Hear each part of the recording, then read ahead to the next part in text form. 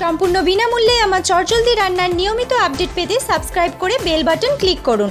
রান্না পছন্দ হলে লাইক এবং শেয়ার করুন। Hello friend, welcome to Riaz kitchen.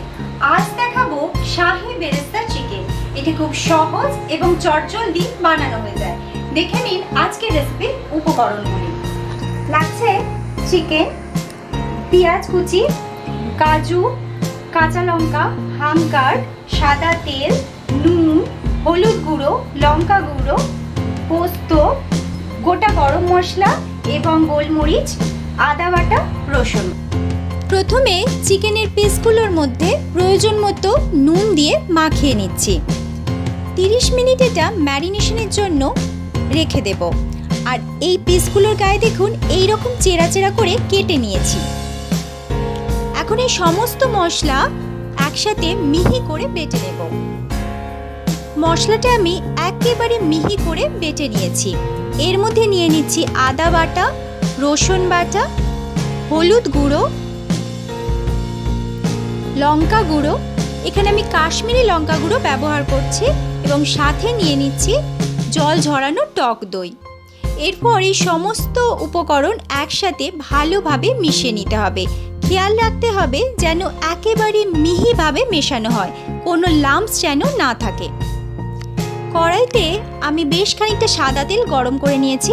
এর মধ্যে নিয়ে নিচ্ছি একেবারে পাতলা পাতলা করে কাটা পেঁয়াজের টুকরোগুলো।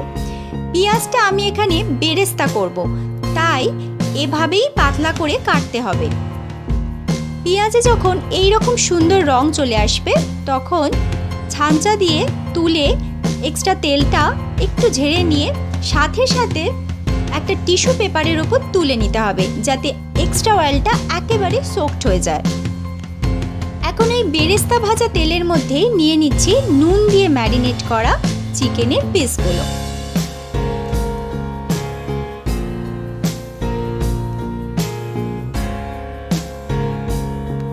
এক পিঠ সুন্দরভাবে ভাজা হয়ে গেলে প্রত্যেকটা পিস একে একে উল্টে নেব। আর এই বেরেস্তা ভাজা তেলে ভাজার জন্য চিকেনগুলোর মধ্যেও একটা সুন্দর ফ্লেভার চলে আসবে।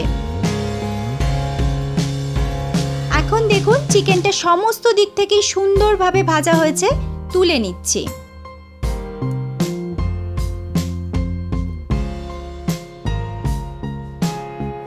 এখন ওই একই তেলের মধ্যে নিয়ে নিচ্ছি আগে থেকে তৈরি করে রাখা মশালা মিক্সটা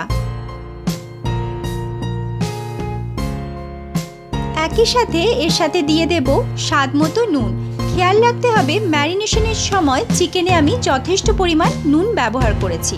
সেই আন্দাজ বুঝেই নুনটা দিতে হবে। মশলার বাটি ধুয়ে এক কাপ পরিমাণ জল দিয়ে দিচ্ছি। সাথে সাথেই এই জলটা দেওয়ার জন্য মশলাটা পুড়ে যাওয়ার ভয় থাকবে না। মিডিয়াম ফ্লেমে নাড়তে থাকব।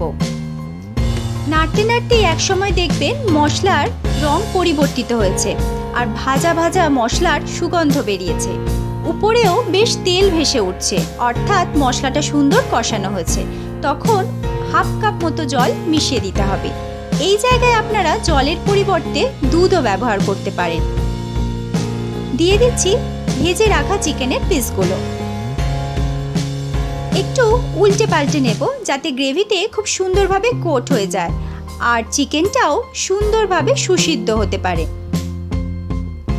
ঢাকা দিয়ে লো ফ্লেমে স্লো কুক করব। প্রায় আধ ঘণ্টা ধরে আমি এটা লো ফ্লেমে স্লো কুক করছি। মাঝে মধ্যে এইভাবে একটু উল্টে পাল্টে দিয়েছি যখন যেরকম প্রয়োজন মনে করেছি। রান্নাটা প্রায় শেষের পর্যায়ে। এই সময় দিয়ে দেব বেরেস্তাটা। আর বেরেস্তাটা দেওয়ার সময় ঠিক এইভাবে হাত দিয়ে একটু ভেঙে ভেঙে দিতে হবে। এই বেরেস্তাই কিন্তু এই রান্নার স্বাদই পাল্টে দেবে। একবার ভালোভাবে মিশিয়ে নিচ্ছি। এই রান্নাটা খেতে ভালো লাগে রুটি, পারাঠা চাপাটাইয়ের সাথে।